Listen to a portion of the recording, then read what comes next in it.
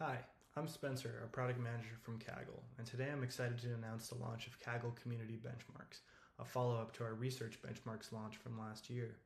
Now, anyone can create AI benchmarks to test model capabilities, and I'm going to show you how to get started. So here we are in the benchmarks UI. You can get here in the left nav by clicking benchmarks. You can filter to community benchmarks to see the new feature we launched and to see benchmarks published by other users. Let's get started by creating a task, which is the basic unit of a benchmark. Uh, we'll ask a model to generate an image of a horse in ASCII art. We'll use an LLM to judge if that image does indeed look like a horse. Okay, let's generate that. Once the code is generated, we can go ahead and view the notebook. Let's load the notebook and see what the code looks like. Here's the code. Looks like valid code based off of the new Kaggle Benchmarks SDK. And we can review the output as well to see how the model did. So the model did produce a couple images that were supposed to be horses, but they didn't really look too much like a horse and they did it did fail the assertion.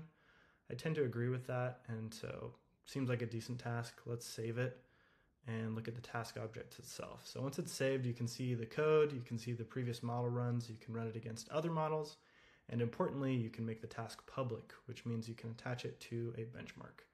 That's what we'll do next. Here we're back on the benchmarks UI and we're gonna go ahead and create a benchmark. We'll call it animal image recognition, give it a description, and then create it. Once you're on the benchmark, you can add tasks I'm going to filter down to tasks I've created, but we could add community tasks as well. And then we're going to add models to evaluate those tasks against. This is the currently supported list of models, but it will be growing and changing all the time. Keep an eye out for that.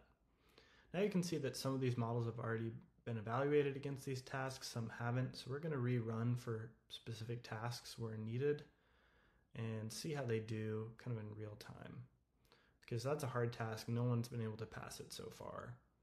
Uh, we'll rerun this one as well for models that have not yet run see how they do.